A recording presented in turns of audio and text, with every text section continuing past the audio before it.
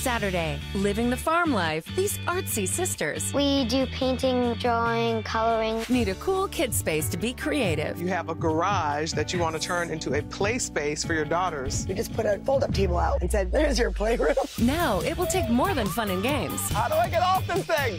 This is so cool. to transform this garage into the place these girls will love to hang. Homemade Simple with Laila Ali, Saturdays, 9 a.m., 8 Central.